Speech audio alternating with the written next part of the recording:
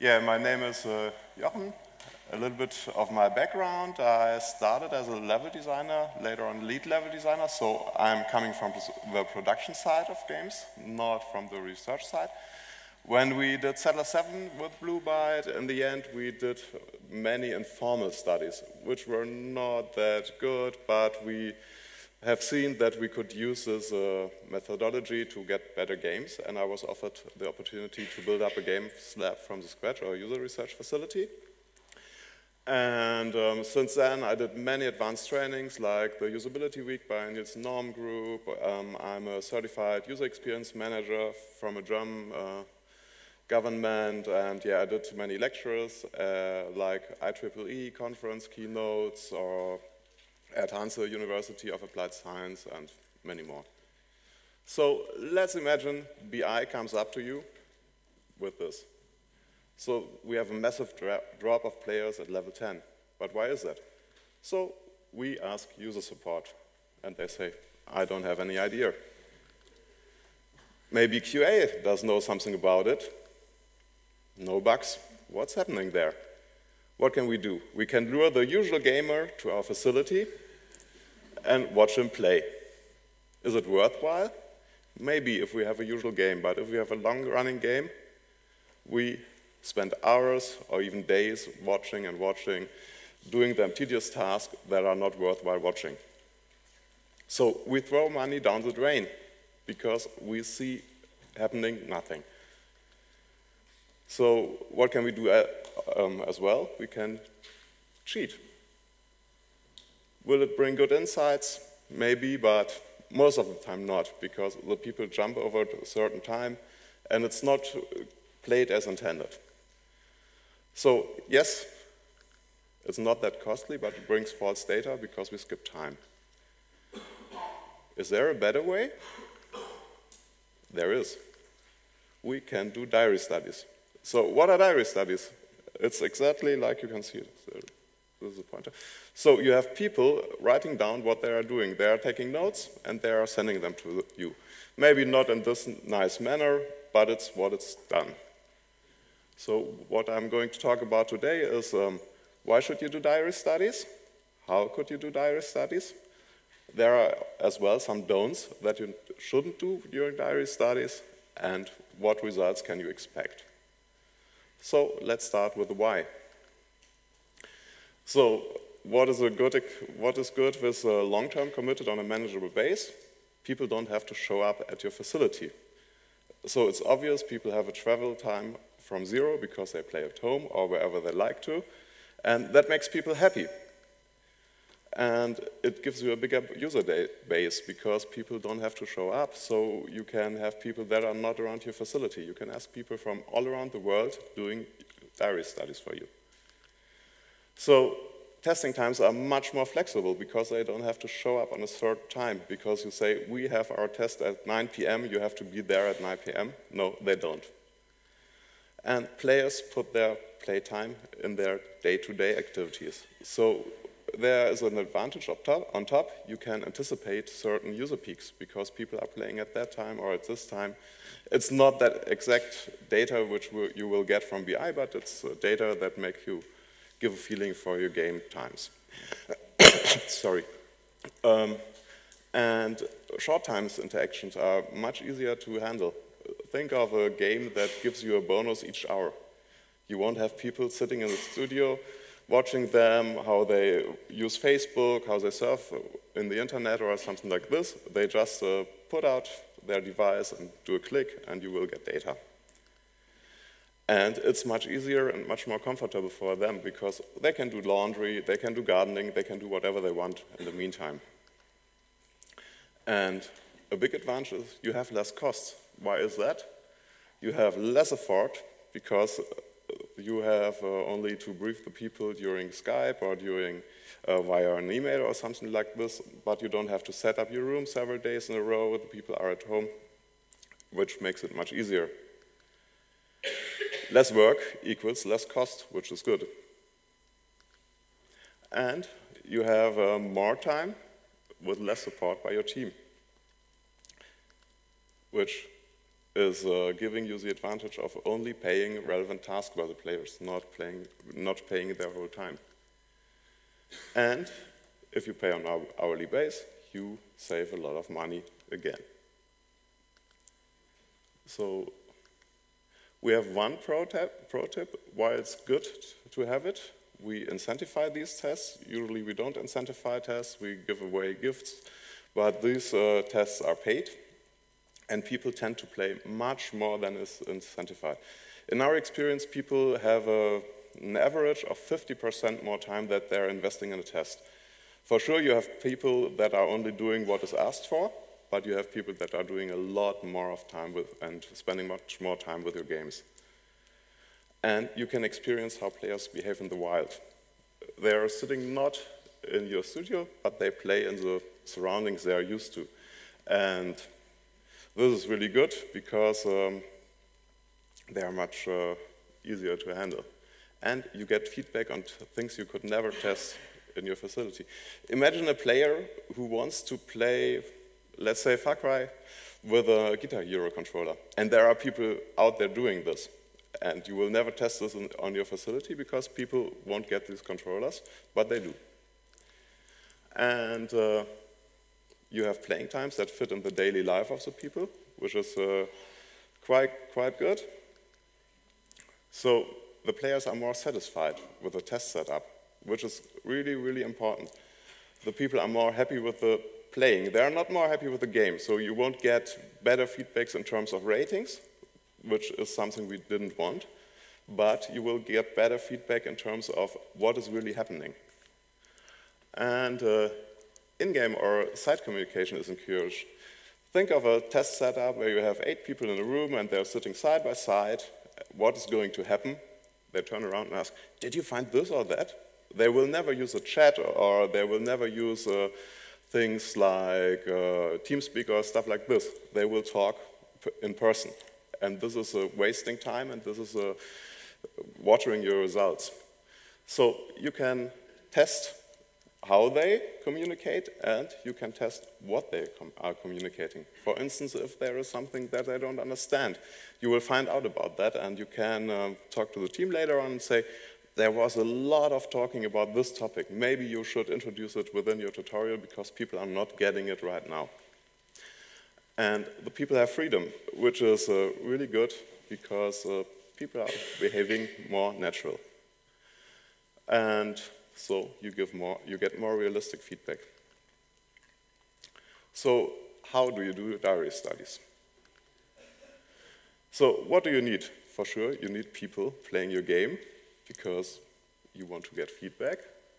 But you have to be really, really keen of uh, meeting your target group, even better than within a usual playtest because uh, it's more effort in terms of organizing them and um, so you have um, on top to be aware, it's a long time commitment. Usually we do tests about two weeks, sometimes a little bit longer.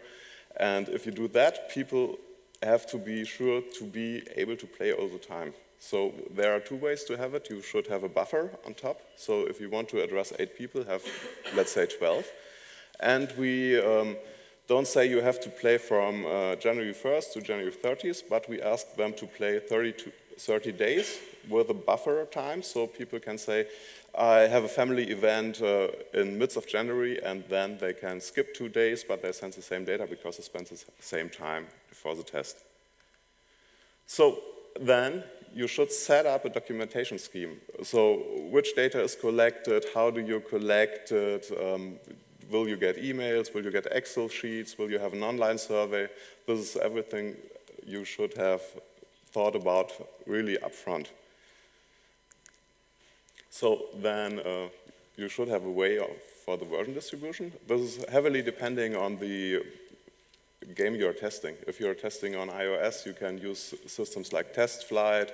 If you're in a big studio and you have an alpha and beta rollout environment, you can use this. So just think about how will people get your version.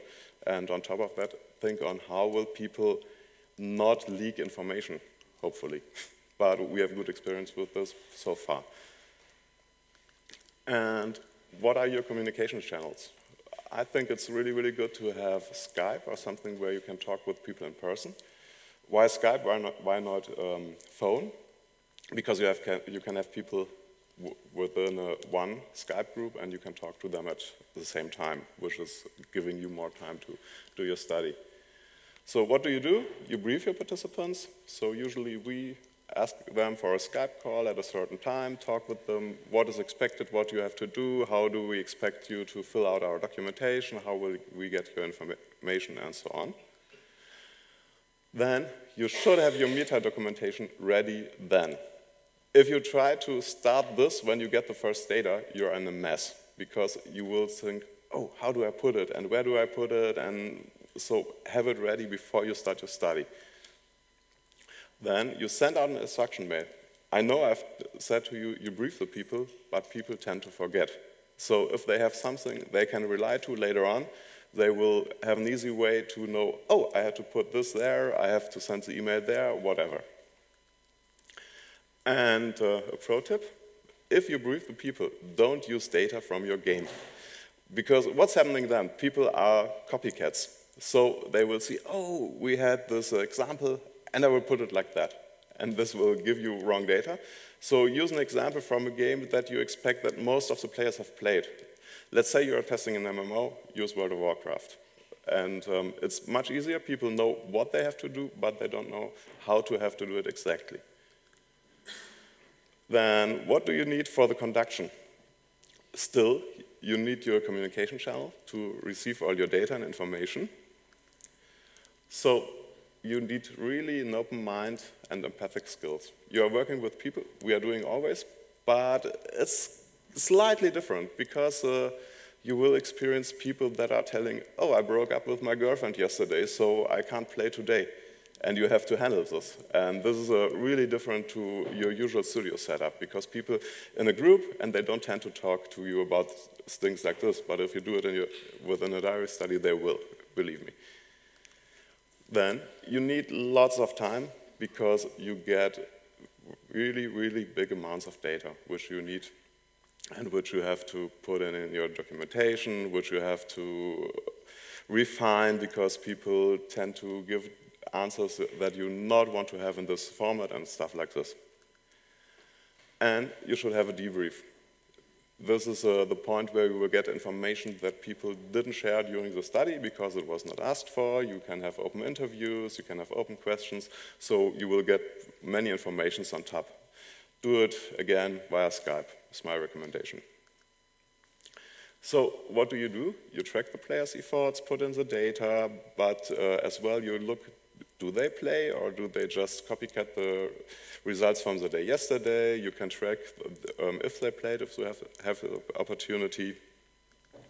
Yeah, and as I said, you have to pamper your participants. In terms of technical difficulties, in terms of personal difficulties, everything is going to happen. And then type in the data. Do it during the study. You don't want to do it after the study because again, you will be in a mess with the amount of data. And on top of that, if you do it after the study, you, don't, you are not able to prepare your debrief correctly because you will take information from the players to ask questions during the debrief. debrief. And uh, another tip, what we are doing is we ask people for the three top emotions during their playtime. And it's not about that we want to hear from the people, I am happy. Why are we doing it? Because it's a trigger point. People are set back from their usual gaming and they think about, oh, there was a time when I was angry, and why is that? And then they start to uh, give you a good insight what was happening there. And it's so the emotions might be worthwhile having a look at, but it's much better to have a look at all the stuff they're writing why they had the emotion. And um, I have an appendix. Uh, there is an example where you can have some uh, of the emotional tables we are using. And uh, believe me, you will get strange stuff if you don't have a list of emotions, because people think tired is an emotion. Uh, I don't think so, but they do.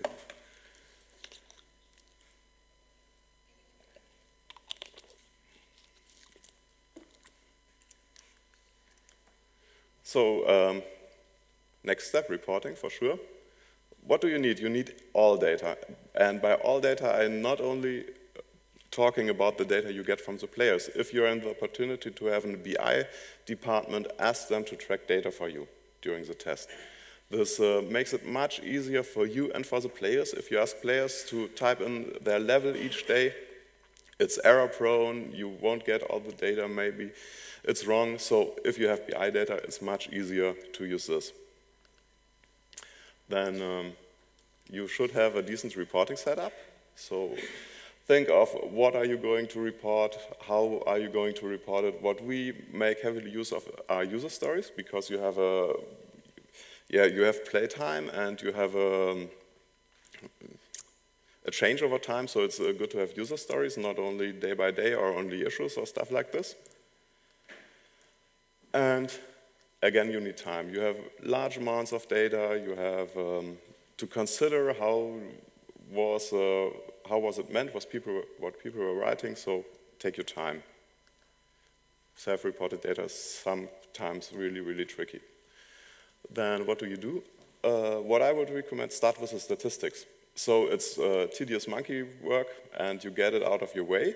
This is a not the good point. The good point is if you have your statistics, you have things that you know you could, should keep an eye on during the reporting.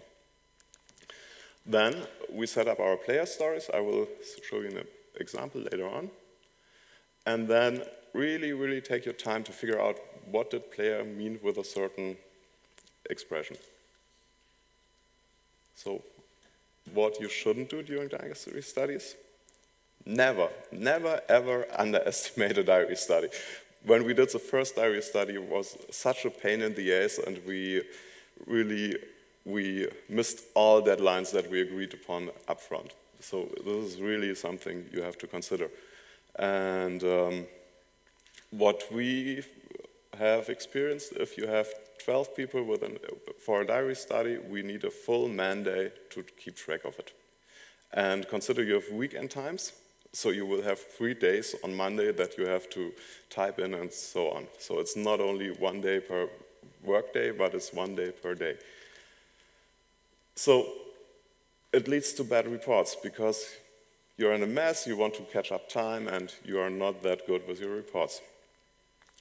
So what you shouldn't underestimate are the pamper needs, which are taking time, which are taking your nerves at some, at some point, and um, all the stuff that might come on. Tech difficulties, play difficulties, personal, personal difficulties. And you should have a proper resource allocation. So be sure you have people conducting the study all the time. And otherwise, your reports are running late. You shouldn't forget things. So never forget BI and data tracking. As I said, it makes your work much easier. And missing information is not that likely to happen. So you should set up fallbacks for leaving people. As it's a long-time commitment, people will leave, definitely. So have a good buffer, not only one or two people, usually I would recommend four to five people, depending on the size of the study. Otherwise, your study will fail. And uh, what we don't do basket tests. I don't know if you are keen with basket tests. Basket tests is if you have a big group of users and you have microtransactions within the game, you put out in-game money and people are spending the money.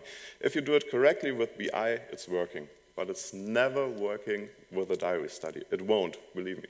So it leads to money spent completely different, differently because people know we are two days, uh, two weeks doing a study, and afterwards all my effort is raised, so it's gone. And people are, I like this uh, lilac sword, I will buy it. The stats are worse, and, but, but I will buy it because it's looking nice. I will never do it in the game if I play it really, but I will do it during the study. And what you think you could do track how they spend it. Yeah, sure, you can, but it will give you really, really uh, wrong insights. And you will come to wrong assumptions. And what you can do on top, you can ask players, how would you spend money? And we have a saying in our office, um, Could you imagine stepping to the window and jump out? Sure, I can. Will I do? I will never. I won't jump out of the, from the fourth floor. But people, if you ask them for assumed uh, behavior, they will assume everything. There's a nice uh, anecdote when Coca-Cola invented the new recipe for Coca-Cola.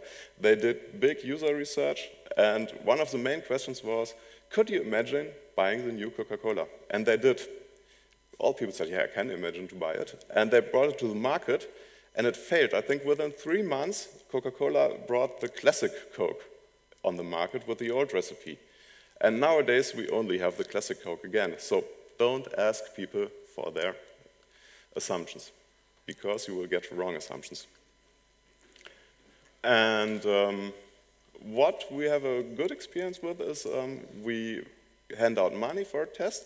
So we ask people, would you like to get, let's say, 10 pounds less for your test, but you can spend 20 pounds in the game? And this is working out because people have the feeling they're spending their money. And um, you have a small user group, you don't have BI data, but you get a much better feeling if you do it like that. And which results can you expect? So let's come back to the player loss at level 10. What happened to it? Yeah, game design and project management weren't happy with this, obviously, so they asked us, why is it happening? BI couldn't answer it, they only could show us the numbers. So what did we do? We did a diary study because it was on, I think, day five or something like this for Settlers uh, Online. And our one of our focal points were definitely level 10. What's happening there? What are people doing? And we did a proper setup, so we didn't ask the people, would you leave at level 10, or why would you leave at level 10, or something like this. But uh, we asked for the emotions, and we got a really good impression because people were angry. They were really, really angry at level 10. What was happening there? They um, get a new uh, in-game uh, mechanic, and it was a military. And it was introduced with, this is a military, use it. Which is not good, but we could uh, find out that we need more steps and we need micro steps, and the game was really, really good change at that point, and we could get rid of this dip. And what you will get on top is structured data. I know some studios have BI data and some studios have really good um, data visualization. But imagine small studios that don't have the opportunity. And you can ask people to do screenshots. So this is an example from um, Anno Online. And you will see how people build their, uh, yeah, their settlement. And we had a big discussion with level design about this rocks, uh, these rocks because it was like, okay, it's an obstacle, maybe it's an opportunity to force players to do something, or maybe it's really annoying for the players, and we could find out they are easily playing around and it's not that big, uh, not that a big problem. So this is a usual player story that we are doing, so you can see all the time data, what's happening, how much time is spent in the game, um, how is, this was for Assassin's Creed Identity, a mobile game on iOS. And we could find out how's the player progression, um, which missions are played. We could see this player was really, really happy with the game most of the time, but he hated to be forced to play the tutorial because he was an Assassin's Creed player. He was really, really uh, knowing the game and he didn't want to know how to jump or how to climb a building or stuff like this. And this gives a really good insight for the team. They know what's happening, how people are playing, how do they feel during their journey. And what is really nice, you will get much more than you asked for. I know this is looking a little bit like coder graphics, but it's uh, user graphics. And it was uh, a game called Might and Magic Heroes Online. And we never asked for the battle mechanics, but people were really analyzing it and saying, oh, flanking is not good with the setup, maybe you could uh, change the level. And this is really nice because you get much more insights than you asked for. And on top of that, you will get feedback when the study is done. If the game is in beta status and you hand it out and people can play afterwards, they really send you emails. We get, we got feedback half, in, half a year after study. So this is really something you get benefit on top that you're not paying for. So that's my short introduction to diary studies.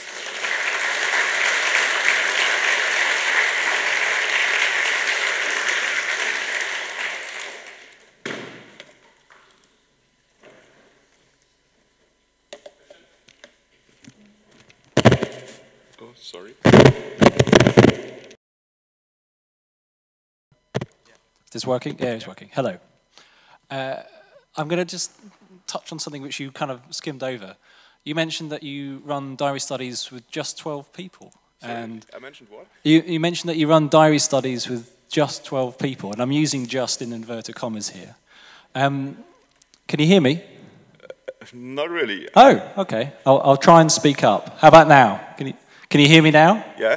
Okay. What um, do you get any pushback when you, you run a diary study with quite small numbers, like the 12 players that you mentioned during this talk? Or do you find that your developers are happy with those smaller numbers? Happy with what? Do you need to justify uh, running a diary study with such small numbers as, as 12? Or do you feel like the developers are happy with, with a very small number of players? Do, basically, do you, do you often get questions of people going, why only 12? So, so you are talking about the amount of players, did I get it right? Yes. As, it, uh, as it's qualitative research, it's okay. We are not doing quantitative research. We would hand over to BI for that. So uh, we have to uh, make clear upfront what we can do and what we can achieve, but then it's okay with the teams, yes. Okay. Cool.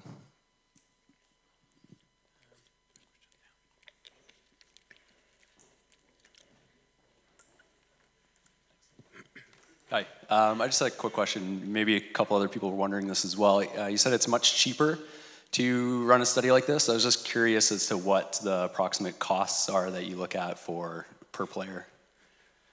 You want to hear about the costs? My boss is gonna hit me if I'm gonna tell you about that. But what I can say, uh, let's assume you would have uh, people sitting in your studio for two weeks. We assume um, an observer for one to two persons, depending on the system. If we have handhelds, we have one person sitting by one person. So uh, if we have 12 players sitting there um, 10 days, we have 120 man days. And if you assume only for observing, so you have a factor from about four to five times because uh, we cut out all the preparation, all the reporting stuff. But I think it's uh, four to five times more expensive to have a study in the studio if you ha- want to have the really the same setup. If you cheat or if you skip times or something like this, you wouldn't have that for sure. Oh, great. Thanks.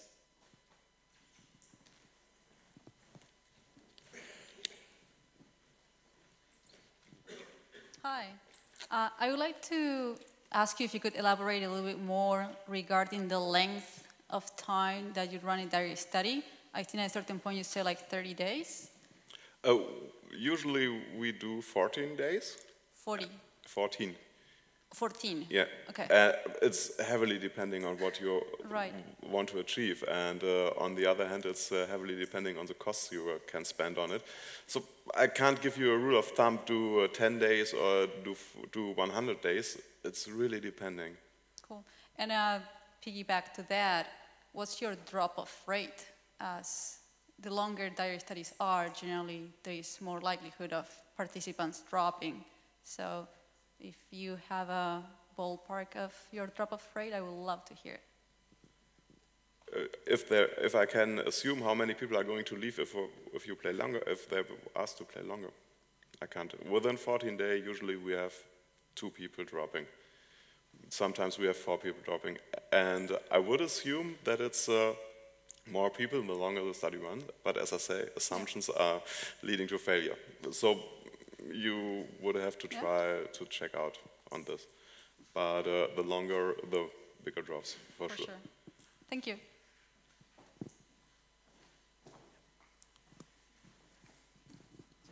Hi. Uh, hello. Um, I've got several questions. I think the, the first one is, um, um, I forgot. No, sorry. Uh, can you tell us a bit more about the data that you collect and what kind of questions you ask the players? Oh, okay. It's uh, really depending, but uh, we ask for, uh, we have ratings for sure. So how did you enjoy your day? We have this emotion list, which we use all the time. Um, then we really adjusted to the game. So as I showed you the screenshots for Anno Online, it was really important to find out how the people are building and do they get the um, core loop of the game because you have um, a radius around each building and people have to know this because otherwise their economy wouldn't run efficiently. So we made screenshots. With other games, uh, we tested, for instance, Silent Hunter Online, a submarine game, and we looked which torpedoes are used, which submarines are bought. I think there isn't a rule that you can give. Uh, the only thing that I would stuck to all the time are the emotions, because they're helping really a lot. So if you ask uh, appreciation ratings and emotion stuff like that, what, how do you treat them if you've got such low sample? Such a low amount of players? How we treat the ratings? Yeah. I think it's really interesting to see them over time and to see, to see them in relating to the emotions. So if you have uh, three emotions like angry, disappointed, and stuff like this, for sure you will see a dip within the rating. And um, but maybe it was a tech bug, so you can say we had server issues on this day, so we can even it out within our um, averages in the end of the game. So um, set it into relation and um, then you can see in the development over time. And what you can expect is a dropping, uh, usually you ha will have a dropping uh, rate ratings after day five to day seven. Not significantly, but they will drop usually. Question? Hi there. Um, how do you deal with participants who might be just maybe making up the data? Because obviously you're giving them a lot of trust because they're conducting and writing the study and uh, diary entries in their own time, in their own personal space. So if you're getting very limited information back or, or maybe information that's not useful to you, how do you deal with that? Uh, you can uh, set up your methodology to avoid this. So if you have ratings, people have just to tick a question within a survey. Um, the other way is to ping them on some way via email or just in a personal phone call, or something like this, and ask them again. And to be honest, at some point we have to kick out people because they are not giving decent feedback.